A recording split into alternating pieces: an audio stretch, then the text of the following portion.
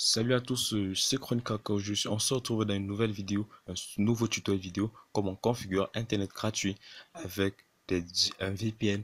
Et cela, cette configuration est valable pour tous les pays. Et cela, déjà, je confirme que cela passe en Guinée-Conakry, en Guinée-Bissau et en, Guinée équatoriale. Et maintenant, que cela passe avec tous les opérateurs, quel que soit le pays dans le monde entier. Mais au préalable de là, je vous explique cela fonctionne. Donc, justement, j'ai pas sur Internet. Je vais vous présenter là parce que c'est bien. Je vais vous présenter là. Bon, bon, bon, bon. Je viens dans mon groupe WhatsApp qui est plus 1 585 902 91 34.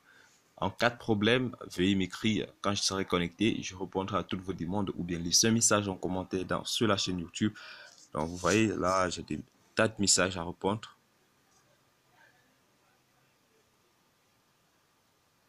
Je vais écrire un salut. j'ai posté la configuration de, de ceci bien avant dans la chaîne YouTube. Donc, j'ai décidé de faire le tuto euh, pour tout le monde.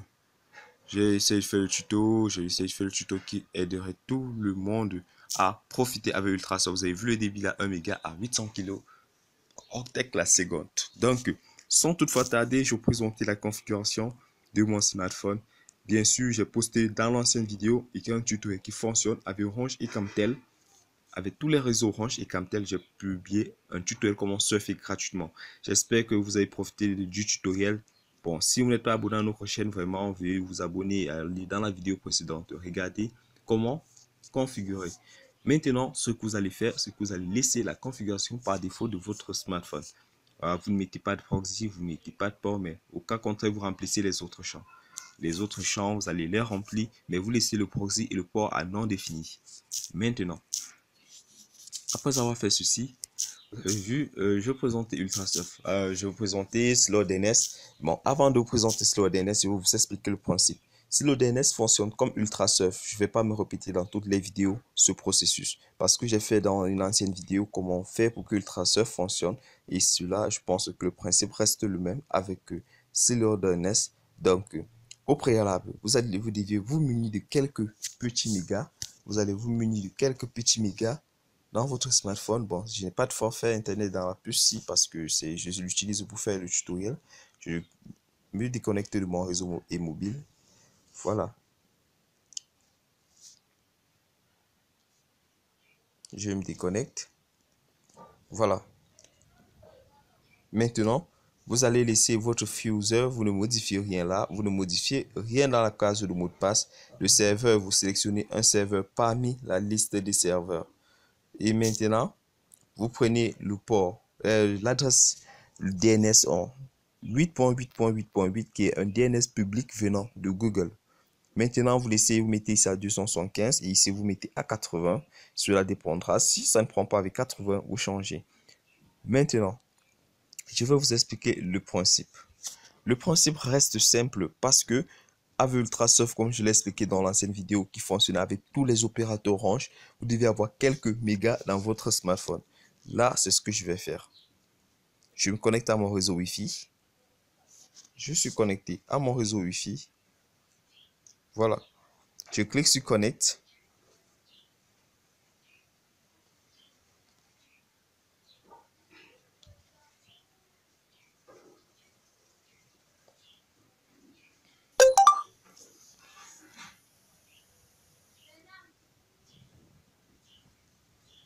On patiente.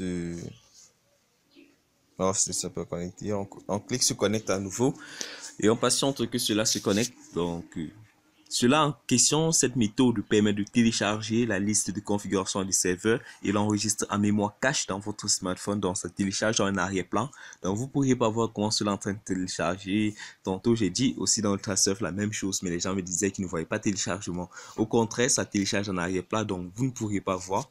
Maintenant, après avoir téléchargé, je clique sur Disconnect. Donc je viens ici là, je clique OK d'abord. OK, je viens de déconnecter mon DNS.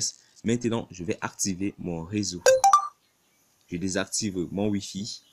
J'active mes réseaux mobiles, mes données de réseau mobile.